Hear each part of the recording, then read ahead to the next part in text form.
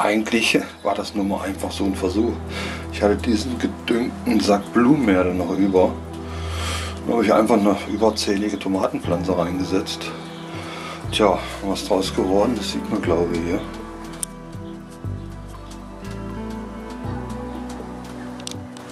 Es haben sich außergewöhnlich viele Tomaten angesiedelt.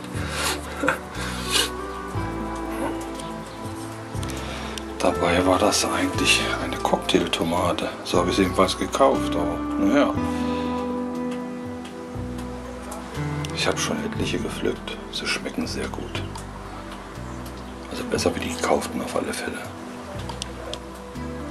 Ja, jetzt habe ich schon für den Salat hier oben abgepflückt. Ich bin eben erst auf die Idee gekommen, kannst du ja auch mal filmen. Warum nicht? Einziger Nachteil an der Pflanze ist, sie braucht sehr viel Wasser. Also man muss den Sack wirklich jeden Tag richtig gut gießen. Mindestens 20 Liter.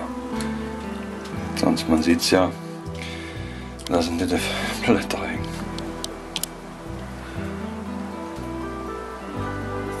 Sehr wohlschmeckend auf alle Fälle. Tomaten.